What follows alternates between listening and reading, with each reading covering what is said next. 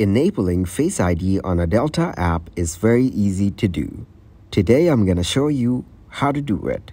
To set up face recognition, firstly open up the Delta app in your mobile device.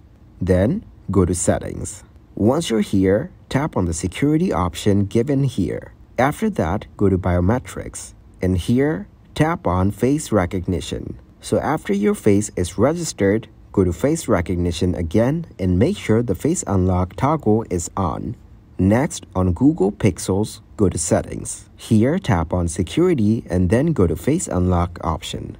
After that, tap on set up face unlock. To set up a face ID, firstly go to the settings. Here, tap on face ID and passcode. Tap on Set up Face ID, then hold your device in portrait orientation and position your face in front of your device. Then tap on Get Started and follow the instructions on the screen.